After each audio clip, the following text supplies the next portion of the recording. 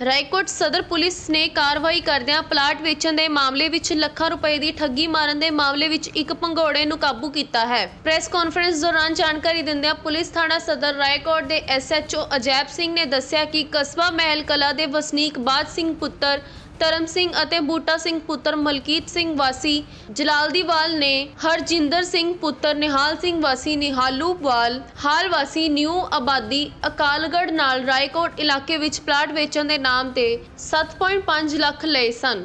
ਪਰੰਤੂ ਉਕਤ ਵਿਅਕਤੀ ਵਾਰ-ਵਾਰ ਰਜਿਸਟਰੀ ਦੀ ਤਾਰੀਖ ਅੱਗੇ ਪਾ ਦਿੰਦੇ ਸਨ। ਆਖਰੀ ਉਲਤ ਵਿਅਕਤੀ ਨੇ ਸ਼ਿਕਾਇਤਕਰਤਾ ਨੂੰ ਕਿਸੇ ਹੋਰ ਦੇ ਪਲਾਟ ਦੀ ਰਜਿਸਟਰੀ ਆਪਣਾ ਦੱਸ ਕੇ ਕਰਵਾ ਦਿੱਤੀ। ਇਸ ਸ਼ਿਕਾਇਤ ਦੇ ਆਧਾਰ ਤੇ ਪੜਤਾਲ ਉਪਰੰਤ 2015 ਵਿੱਚ ਉਕਤ ਵਿਅਕਤੀਆਂ ਖਿਲਾਫ ਧੋਖਾਧੜੀ ਦਾ ਮੁਕੱਦਮਾ ਦਰਜ ਹੋਇਆ ਸੀ, ਜਿਸ ਵਿੱਚੋਂ ਬਾਦ ਸਿੰਘ ਨੂੰ ਮਾਣਯੋਗ ਅਦਾਲਤ ਨੇ ਭੰਗੋੜਾ ਕਰਾਰ ਦਿੱਤਾ ਹੋਇਆ ਸੀ। ਜਿਸ ਤਹਿਤ ਕਾਰਵਾਈ ਕਰਦਿਆਂ ਰਾਏਕੋਟ ਸਦਰ ਪੁਲਿਸ ਨੇ ਉਕਤ ਵਿਅਕਤੀ ਨੂੰ ਕਾਬੂ ਕਰ ਲਿਆ ਅਤੇ ਮਾਣਯੋਗ ਅਦਾਲਤ ਵਿੱਚ ਪੇਸ਼ ਕਰਕੇ ਹੋਰ ਰਿਮਾਂਡ ਹਾਸਿਲ ਕੀਤਾ। ਥਾਣਾ ਮੁਖੀ ਨੇ ਦੱਸਿਆ ਕਿ ਉਕਤ ਵਿਅਕਤੀ ਖਿਲਾਫ ਹੋਰਨਾਂ ਥਾਣਿਆਂ ਵਿੱਚ ਵੀ ਧੋਖਾਧੜੀ ਦੇ ਮੁਕੱਦਮੇ ਦਰਜ ਹਨ ਜਦਕਿ ਇਸ ਦੇ ਸਾਥੀ ਬੂਟਾ ਸਿੰਘ ਦੀ ਮੌਤ ਹੋ ਚੁੱਕੀ ਹੈ। ਇਸ ਸਬੰਧ ਵਿੱਚ ਰਾਏਕੋਟ ਸਦਰ ਪੁਲਿਸ ਵੱਲੋਂ ਬਰੀਕੀ ਨਾਲ ਪੜਤਾਲ ਕੀਤੀ ਜਾ ਰਹੀ ਹੈ। ਕੀ ਨਾਮ ਹੈ ਜੀ ਤੁਹਾਡਾ? ਮੈਂ ਸਬ ਇੰਸਪੈਕਟਰ ਜੈਬ ਸਿੰਘ ਮੁੱਖ ਅਫਸਰ ਥਾਣਾ ਸਦਰ ਰਾਏਕੋਟ ਹਾਂਜੀ ਸਰ ਕੀ ਮਾਮਲਾ ਸਰ ਅੱਜ? ਇਹ ਸਰ ਮੁਕੱਦਮਾ ਨੰਬਰ 96 2015 ਦਾ 420 120 ਦਾ ਦਰਜ ਰਜਿਸਟਰ ਹੋਇਆ। ਇਹ ਬਾਰ ਸਿੰਘ ਤੇ ਬੂਟਾ ਸਿੰਘ ਦੇ ਨਾਂ ਦੇ ਦੋ ਬੰਦੇ ਸੀਗੇ ਜੀ। ਮਹਿਲ ਕਲਾਂ ਦੇ ਰਹਿਣ ਵਾਲੇ ਸੀਗੇ। ਇਹਨਾਂ ਨੇ ਹਰਜਿੰਦਰ ਸਿੰਘ ਵਾਸੀ ਨਿਹਾਲੂ ਸਿੰਘ ਵਾਲੇ ਨਾਲ ਇੱਥੇ ਰਾਏਕੋਟ ਦੇ ਏਰੀਏ 'ਚ ਇੱਕ ਪਲਾਟ ਖਰੀਦਣ ਦਾ ਸੌਦਾ ਹੋਇਆ ਸੀਗਾ ਜੀ। ਜਿਹੜਾ ਸੌਦਾ ਜ਼ਮੀਨ ਜਿਹੜੀ ਖਰੀਦੀ ਵੀ ਸੀ ਜ਼ਮੀਨ ਜਿਹੜਾ ਰਕਬਾ ਉਹ, ਉਹ ਬੂਟਾ ਸਿੰਘ ਕੋਲ ਸੀਗਾ ਜੀ ਬਿਆਨਾ ਹੋਇਆ ਵਾ ਸੀਗਾ। ਤੇ ਇਹਦਾ ਸੌਦਾ ਕਰਾਇਆ ਸੀਗਾ ਹਰਬਾਜ ਸਿੰਘ ਜੀ ਇਹ ਵੀ ਮਹਿਰ ਕਲਾਂ ਦਾ ਰਹਿਣ ਵਾਲਾ ਜੀ। ਤੇ ਇਹਨਾਂ ਨੇ ਬਿਆਨਾ ਹੋ ਗਿਆ ਜਦੋਂ ਡੇਟ ਇਹਦੀ ਰਜਿਸਟਰੀ ਦੀ ਡੇਟ ਆਂਦੀ ਸੀਗੀ ਤਾਂ ਡੇਟ ਵਧਾ ਲੈਂਦੇ ਸੀ ਪੈਸੇ ਲੈ ਲੈਂਦੇ ਸੀ। ਕਰੀਬ 7.5 ਲੱਖ ਰੁਪਏ ਇਹਨਾਂ ਕੋਲ ਦੋਨਾਂ ਕੋਲ ਆਇਆ ਸੀਗਾ ਜੀ।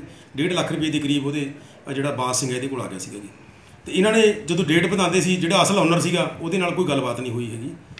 ਤੇ ਬਾਅਦ ਚ ਜਦੋਂ ਰਜਿਸਟਰੀ ਦੀ ਡੇਟ ਆਈ ਸੀ, ਉਹ ਰਜਿਸਟਰੀ ਲੰਘਣ ਕਰਕੇ ਇਹਨਾਂ ਨੇ ਉਹ ਕਹਿੰਦਾ ਜੀ, ਬੂਟਾ ਸਿੰਘ ਕਹਿੰਦਾ ਜੀ ਵੀ ਮੇਰੀ, ਮੇਰਾ ਪਲਾਟ ਪਿਆ 4 ਵਿਸਵੇ ਦਾ, ਤੁਸੀਂ ਆਹ ਰਜਿਸਟਰੀ ਕਰਾ ਲਓ ਜੀ। ਇਹਨਾਂ ਨੇ 4 ਵਿਸਵੇ ਦੀ ਰਜਿਸਟਰੀ ਕਰਾ ਲਈ। ਹਰਜਿੰਦਰ ਸਿੰਘ ਦੀ ਘਰ ਵਾਲੀ ਬਿੰਦਰ ਕੌਰ ਦੇ ਨਾਂ ਦੀ ਰਜਿਸਟਰੀ ਹੋਈ ਸੀਗੀ। ਤੇ ਜਦੋਂ ਵਾਕਿਆ ਤੇ ਜਾ ਕੇ ਇੰਤਕਾਲ ਗਰਦੌਰੀਆ ਨਾਂ ਹੋ ਗਿਆ, ਸਰ।